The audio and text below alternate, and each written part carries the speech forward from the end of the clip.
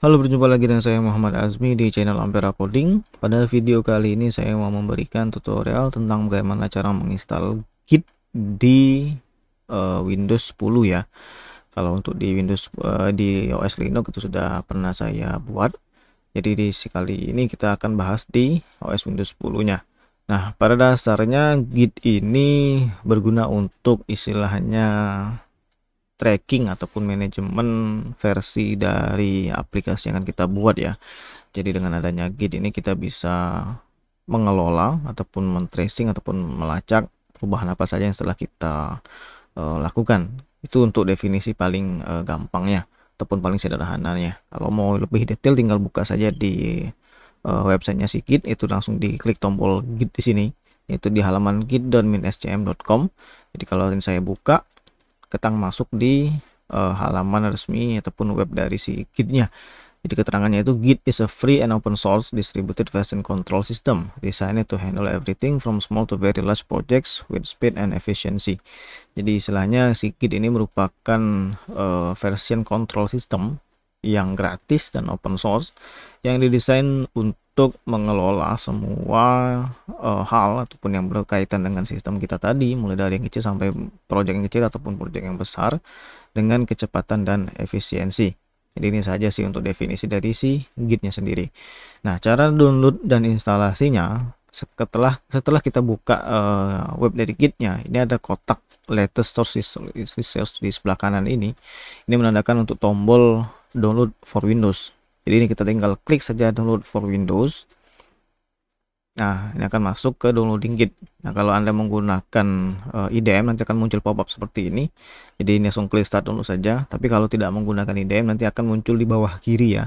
Di bawah kiri ini akan langsung otomatis uh, muncul istilahnya progres dari instalasinya. Eh, progres dari downloadnya. Ini tinggal ditunggu saja. Oke ini selesai Nah, saya akan langsung buka ya dengan klik tombol open di sini.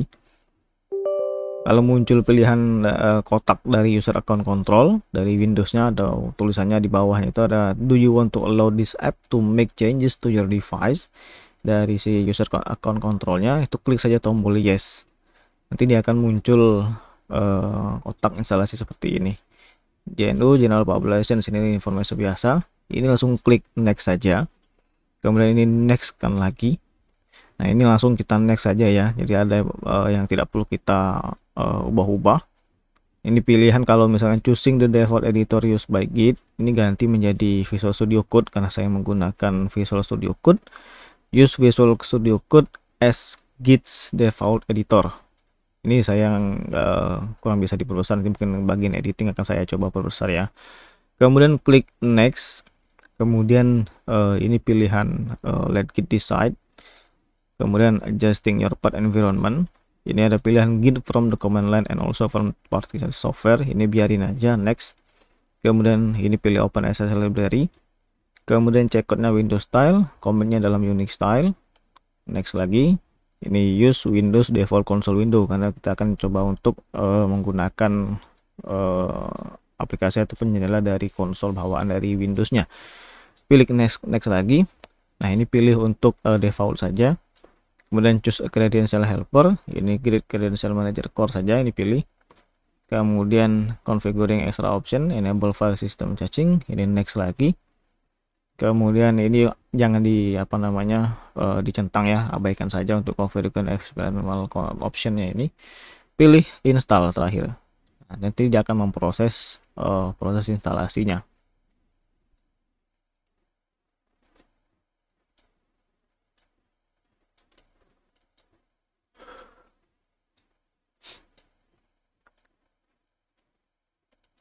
Oke, ini sudah selesai ya.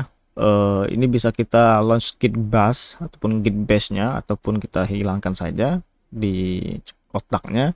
Begitu juga di view release notes ini ya abaikan saja finish.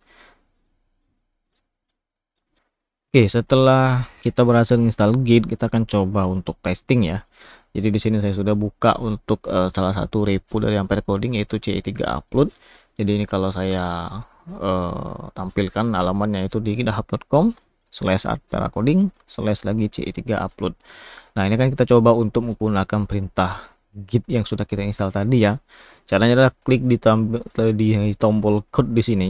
Kemudian di sini ada kayak uh, icon papan uh, tulisan di sebelah uh, https github.com ini.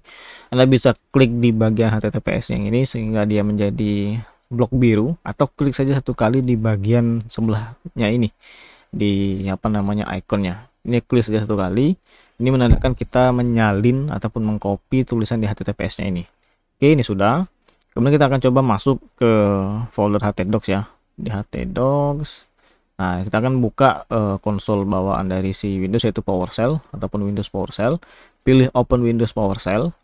Kemudian kita ketikkan git clone kemudian ini di apa namanya spasikan satu kali. Anda bisa menekan klik kanan di mouse satu kali maka dia akan langsung tampil alamat yang sudah kita salin tadi.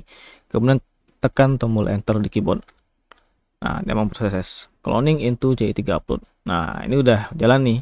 Kalau kita belum install git dia nggak akan jalan karena kita belum ada git di uh, eh, PC ataupun di laptop kita kalau kita lihat di folder di sini sudah ada nih uh, direktori si C3 upload tadi.